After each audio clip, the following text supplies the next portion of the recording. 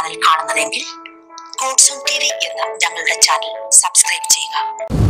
പിതാവിനും പുത്രനും പരിശുദ്ധ റുഹായിക്കും സ്തുതി. ആദ്യം മുതൽ തന്റെ കരുണയും മനോഗുണവും രണ്ട് ലോകങ്ങളിലും ഇന്നും എന്നാളും ചുരിയപ്പെടുമാറാകട്ടെ. ആമീൻ. ഗോഡ്സോൺ ടി വിയുടെ എല്ലാ പ്രിയപ്പെട്ട പ്രേക്ഷകർക്കും വചന പ്രഭാതത്തിലേക്ക് സ്വാഗതം.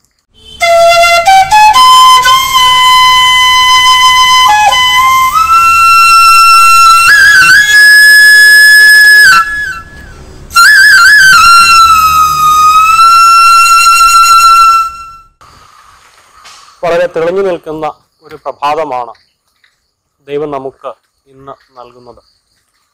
ദൈവഹിതത്തെ അറിഞ്ഞ് ദൈവഹിതം ചെയ്യുവാൻ ഈ പകൽക്കാലം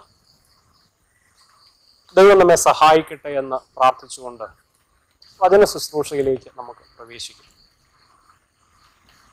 ഉൽപ്പത്തി പുസ്തകം മുപ്പത്തിമൂന്നാം അധ്യായം അതിന്റെ പത്താം വാക്യം. അതിന് യാക്കോബ് അങ്ങനെയല്ല എന്നോട് കൃപയുണ്ടെങ്കിൽ എന്റെ സമ്മാനം എന്റെ കയ്യിൽ നിന്ന് വാങ്ങണമേ. ദൈവത്തിന്റെ മുഖം കാണുന്നത് പോലെ ഞാൻ നിന്റെ മുഖം കാണുകയും നിനക്ക് എന്നോട് ദയ തോന്നുകയും ചെയ്തുവല്ലോ. ദൈവത്തിന്റെ മുഖം കാണുന്നത് പോലെ ഞാൻ നിന്റെ മുഖം കാണുകയും നിനക്ക് എന്നോട് ദയ തോന്നുകയും ചെയ്തുവല്ലോ. യാക്കോബ് പഴയ നിയമത്തിലെ ഏറ്റവും ശ്രേഷ്ഠനായ ആ വ്യക്തിത്വമാണ് അബ്രഹാമിന്റെ പുത്രനായ ഇസഹാക്കിന്റെ പുത്രനായ യാക്കോബ്.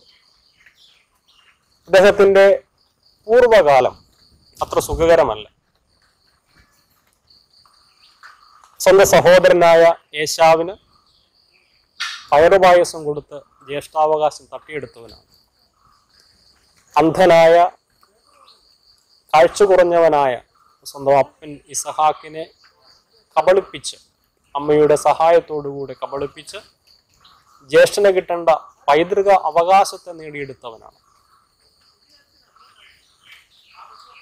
ജ്യേഷ്ഠനെ ഭയന്ന് സ്വന്തം അമ്മാവന്റെ ലാബാന്റെ ഭവനത്തിലേക്ക് ഓടി അവിടെ വർഷങ്ങൾ ജീവിച്ച് അമ്മാവന്റെ ആടുകളെ മേയിച്ച് അവസാനം അമ്മാവനെ കബളിപ്പിച്ചു ഭാര്യയായ ലേയോടും അറാഹയിലും കൂടെ തിരികെ വരുന്നവൻ സ്വന്തം ദേശത്തേക്ക് തിരികെ വരികയാണ് യാക്കോബ്. യാക്കോബിനെ കുറിച്ച് ഇങ്ങനെ വ്യത്യസ്തമായ രീതിയിലുള്ള വിശേഷണങ്ങൾ വേദപുസ്തകം നൽകുന്നുണ്ട്. നിരവധി വർഷങ്ങൾക്ക് ശേഷം സ്വന്തം ഗ്രഹത്തിലേക്ക് യാക്കോബ് മടങ്ങി വരുമ്പോൾ യാക്കോബ് ഭയാശങ്കകളോടുകൂടിയാണ് മടങ്ങി വരുന്നത്. അദ്ദേഹത്തിന്റെ മനസ്സിലെ ഏറ്റവും വലിയ ഭയം ഞാൻ തിരികെ പോകുന്നത് വർഷങ്ങൾക്ക് മുമ്പ് ഞാൻ എന്റെ വീട്ടിൽ നിന്ന് അമ്മാവിന്റെ വീട്ടിലേക്ക് വരുമ്പോൾ കബളിപ്പിച്ച് നിരവധി അവകാശങ്ങൾ അനുഗ്രഹങ്ങൾ നേടി തട്ടിയെടുത്ത കബളിപ്പിച്ച ജ്യേഷ്ഠന്റെ അരികിലേക്കാണ് തിരികെ ചെല്ലുന്നത്. അപ്പോൾ ആ ജ്യേഷ്ഠനെ ഏതു വിധത്തിൽ അഭിമുഖീകരിക്കുമെന്നുള്ളത് യാക്കോബിനെ സംബന്ധിച്ച് വലിയ പ്രശ്നമാണ്. അദ്ദേഹം ജ്യേഷ്ഠന്റെ അരികിൽ എത്തുന്നതിന് മുമ്പായിട്ട് വലിയ പ്രാർത്ഥന കഴിക്കുന്നുണ്ട്. നാം മുപ്പത്തിരണ്ടാം അധ്യായം ഉൽപ്പത്തി പുസ്തകം മുപ്പത്തിരണ്ടാം അധ്യായം അതിന്റെ ഒൻപത് മുതലുള്ള വേദഭാഗത്തിൽ നാം വായിച്ചു വരുമ്പോൾ അതിന് പതിനൊന്നാം വാക്യത്തിൽ യാക്കോബിന്റെ പ്രാർത്ഥന ഇങ്ങനെയാണ്. എന്റെ സഹോദരനായ യേശാവിന്റെ കയ്യിൽ നിന്ന് എന്നെ രക്ഷിക്കണമേ. പക്ഷേ അവൻ വന്ന് എന്നെയും മക്കളോടുകൂടെ മാതാവിനെയും നശിപ്പിക്കുമെന്ന് ഞാൻ ഭയപ്പെടുന്നു. അപ്പോൾ യാക്കോബിന്റെ മനസ്സിൽ സ്വന്തം സഹോദരനെ കുറിച്ചുള്ള ഭയം ഒരു മരണഭയമാണ്. അതുകൊണ്ട് ദൈവത്തോട് ദൈവസന്നദ്ധിയിൽ പ്രാർത്ഥിച്ച് ദൈവത്തിന്റെ സഹായം മേടിച്ചുകൊണ്ടാണ് യേശാവിനിലേക്ക് പോകുന്നത്. വീണ്ടും അദ്ദേഹത്തിന്റെ മാനുഷിക ബുദ്ധിയിൽ മറ്റൊരു കാര്യം കൂടെ തോന്നുന്നുണ്ട്. എന്താണ്? അദ്ദേഹം തന്റെ ജ്യേഷ്ഠൻ കോപിച്ചിരിക്കുന്ന തന്നോട് ശത്രുത്വം പുലർത്തിയിരിക്കുന്ന തന്റെ ജ്യേഷ്ഠനായ യേശാവിനെ കുറിച്ച് സമ്മാനങ്ങൾ കൊടുത്ത് ആ മനസ്സിനെ ഒന്ന് ശാന്തമാക്കുക അദ്ദേഹം അത് ചെയ്തത് എന്താണ്? അതിന്റെ പതിമൂന്ന് മുതലുള്ള വാക്യങ്ങളിൽ അന്ന് രാത്രി അവൻ അവിടെ പാർത്തു തന്റെ പക്കൽ ഉള്ളതിൽ തന്റെ സഹോദരനായ യേശാവിന് സമ്മാനമായിട്ട് ഇരുന്നൂറ് കോലാടിനെയും ഇരുപത് കോലാട്ടുകൊറ്റനെയും ഇരുന്നൂറ് ചെമ്മരിയാടിനെയും ഇരുപത് ചെമ്മരിയാട്ട് കൊറ്റനെയും കറവയുള്ള മുപ്പത് ഒട്ടകത്തെയും അവയുടെ കുട്ടികൾ അങ്ങനെ വലിയൊരു സമ്മാനം മൃഗസമ്പത്തും സ്വർണവുമായൊക്കെ വലിയ സമ്പാദ്യം തന്നെ ജ്യേഷ്ഠനെ കൂടെ തവന് പ്രസാദിപ്പിക്കുവാനായിട്ട് ശ്രമിക്കുകയാണ്. ഇതൊക്കെ തനിക്ക് മുമ്പായിട്ട് കൊടുത്തു വിടുകയാണ്. ഏറ്റവും പുറകിലേക്ക് ഇനി ആരാണ് പോകേണ്ടത്?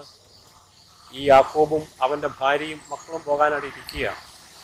അങ്ങനെ ഈ സമ്മാനങ്ങളെല്ലാം കൊടുത്ത് ദിവസങ്ങൾക്ക് ശേഷം യാക്കോബ് തന്റെ സഹോദരനെ മുഖാമുഖം കാണുന്ന സന്ദർഭം അതിന്റെ മുപ്പത്തിമൂന്നാം അധ്യായം മുതൽ നാം വായിക്കുകയാണ്. അതിന്റെ നാലാം വാക്യത്തിൽ നാം കാണുക യേശാവ് ഓടി വന്ന എതിരേറ്റ് ആലിംഗനം ചെയ്തു. അവന്റെ കഴുത്തിൽ വീണ അവനെ ചുംബിച്ചു. രണ്ടുപേരും കരഞ്ഞു. ഒന്ന് ശ്രദ്ധിക്കുക എത്രത്തോളം ഭയാശങ്കകളോടുകൂടിയാണ് യാക്കോബ് ബേശാവിനരികിലേക്ക് വരുന്നത്. ഏശാവിന് ഗുണകരമായ യാതൊന്നും ചെയ്തിട്ടല്ല യാക്കോബ് ലാബാന്റെ ഭവനത്തിലേക്ക് ഓടിപ്പോയത്.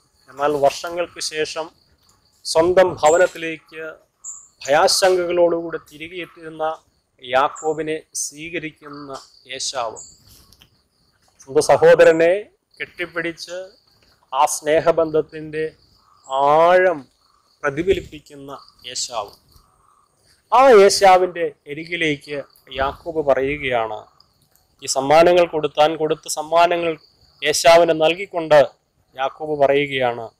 അങ്ങനെയല്ല എന്നോട് കൃപയുണ്ടെങ്കിൽ എന്റെ സമ്മാനം എന്റെ കയ്യിൽ നിന്ന് വാങ്ങണമെന്ന് ദൈവത്തിന്റെ മുഖം കാണുന്നത് പോലെ ഞാൻ നിന്റെ മുഖം കാണുകയും നിനക്ക് എന്നോട് ദയ തോന്നുകയും ചെയ്യും. ആരിലാണ് ദൈവത്തിന്റെ മുഖം കാണുന്നത്?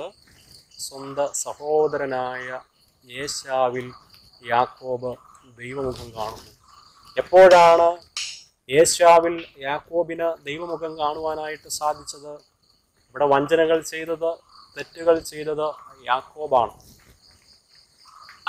യേശാവിനോടാണ് യേശാവിനാണ് നഷ്ടങ്ങൾ സംഭവിച്ചത്.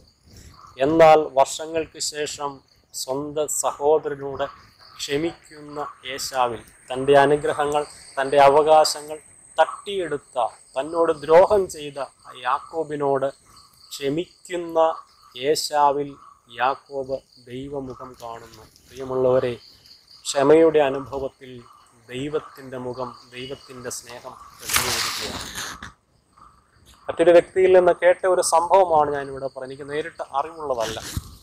രണ്ട് സഹോദരങ്ങൾ നമ്മുടെ കേരള സമൂഹത്തിൽ ജീവിക്കുന്ന രണ്ട് സഹോദരങ്ങൾ. അവർ രണ്ടുപേരും വലിയ ബിസിനസ് സാമ്രാജ്യത്തിന്റെ ഉടമകളാണ്. എന്തോ ചെറിയ ചെറിയ തർക്കങ്ങളുടെ പേരിൽ അവർ കോടതി കയറുകയാണ് ജ്യേഷ്ഠനും അനുജനും. കോടതികളിലെ വാദങ്ങളും പ്രതിവാദങ്ങളും തർക്കങ്ങളുമായി ഇങ്ങനെ കാലങ്ങൾ നീണ്ടു നീണ്ടുപോയി. ഒരു കോടതിയിൽ നിന്നൊരു വിധി വരും അതിനൊരാൾ അപ്പീൽ പോകും അങ്ങനെ വിധികൾ മാറി മറിഞ്ഞു. അവസാനം കൃത്യമായ ഒരു വിധി വന്നു. ഈ സഹോദരങ്ങൾ തമ്മിലുള്ള ബിസിനസ് തർക്കത്തിൽ ജയം ലഭിച്ചത് അനുജനാണ്. താൻ ജനി ജയിച്ചതിന്റെ തൊട്ട് അടുത്ത ദിവസം കോടതിയിൽ നിന്ന് വിധി ജയിച്ചതിന്റെ തൊട്ട് അടുത്ത ദിവസം ഈ അനുജൻ ജ്യേഷ്ഠന്റെ ഭവനത്തിലേക്ക് കടന്നു ചെന്നിട്ട് പറഞ്ഞു ചേട്ടൻ തോറ്റിട്ടുമില്ല. ഞാൻ ജയിച്ചിട്ടുമില്ല. ചേട്ടനുള്ളത് ചേട്ടനും എനിക്കുള്ളത് എനിക്കും ചേട്ടൻ തോറ്റിട്ടുമില്ല ഞാൻ ജയിച്ചിട്ടുമില്ല. ചേട്ടനുള്ളത് ചേട്ടനും എനിക്കുള്ളത് എനിക്കും. സാഹോദര്യത്തിന്റെ ഭാവം ദൈവത്തിന്റെ മുഖം ഇവിടെയാണ് കാണുന്നത്. വിട്ടുവീഴ്ചകളുടെയും ക്ഷമയുടെയും അനുഭവത്തിലാണ് മനുഷ്യബന്ധങ്ങളിൽ കുടുംബജീവിതത്തെ ദർശിക്കുവാനായിട്ട് നമുക്ക് സാധിക്കുന്നത്. നൂറ്റാണ്ടുകൾ നീളുന്ന എത്ര എത്ര തർക്കങ്ങൾ ഇത് സ്വഭാവപരമാകട്ടെ കുടുംബപരമാകട്ടെ എത്രയോ തർക്കങ്ങളിലൂടെ നാം കടന്നു പോകുന്നു ഓർത്തുകൊള്ളുക. ഇവിടെയൊന്നും നാം ദൈവത്തിന്റെ മുഖമല്ല കാണിച്ചു കൊടുക്കുന്നത് മറിച്ച് പൈശാചികതയുടെ ക്രൂരതയുടെ മുഖങ്ങളാണ്. അത് ക്ഷമിക്കുവാനും വിട്ടുകൊടുക്കുവാനും ദൈവമുഖം ദർശിപ്പാനുമായിട്ട് ഇന്ന് നാം തയ്യാറാകുന്നുവെങ്കിൽ അവിടെ വലിയ അത്ഭുതങ്ങൾ സംഭവിക്കും. സങ്കീർത്തനം നൂറ്റി മുപ്പത്തി മൂന്ന് അത് ആരംഭിക്കുന്നത് ഇങ്ങനെയാണ്. ഇതാ സഹോദരന്മാർ ഒത്തൊരുമിച്ച് വസിക്കുന്നത് എത്ര ശുഭവും എത്ര മനോഹരവുമാകുന്നു. അതിനെ തുടർന്ന് ആ സാഹോദര്യത്തിന്റെ ശ്രേഷ്ഠതകളെ കുറിച്ചൊക്കെ പറയുന്നുണ്ടെങ്കിലും ആ വാക്യം അവസാനിക്കുന്നത് ഇങ്ങനെ അതിന്റെ മൂന്നാം വാക്യം ഇങ്ങനെയാണ്. അവിടെയല്ലോ യഹോവ അനുഗ്രഹവും ശാശ്വതവുമായിട്ടുള്ള ജീവനും കൽപ്പിച്ചിരിക്കുന്നത് ഇവിടെയാണ് സഹോദരന്മാർ സഹോദരന്മാർ ഒത്തൊരുമിച്ച് വസിക്കുന്നത്. വസിക്കുന്ന ഇടത്ത് യഹോവ അനുഗ്രഹവും ശാശ്വതവുമായിട്ടുള്ള ജീവനും കൽപ്പിച്ചിരിക്കുന്നു. അപ്പോൾ സാഹോദര്യ ബന്ധം. അവിടെ ഒരു ദൈവീക അനുഭവമുണ്ട്. അവിടെ ദൈവീകതയുണ്ട് ദൈവ സാന്നിധ്യമുണ്ട് ദൈവത്തിന്റെ അനുഗ്രഹമുണ്ട് ദൈവീക ജീവനുണ്ട്.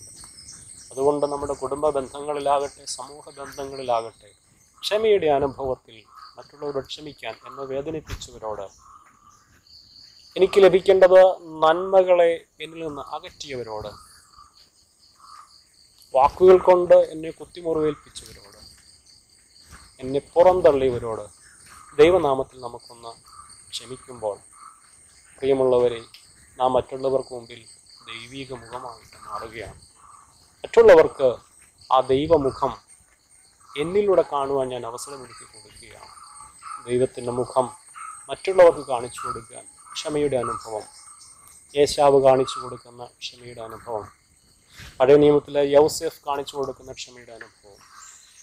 നമ്മുടെ കർത്താവും രക്ഷിതാവുമായവൻ ക്രൂശിലൂടെ കാണിച്ചു കൊടുത്ത ക്ഷമയുടെ അനുഭവം.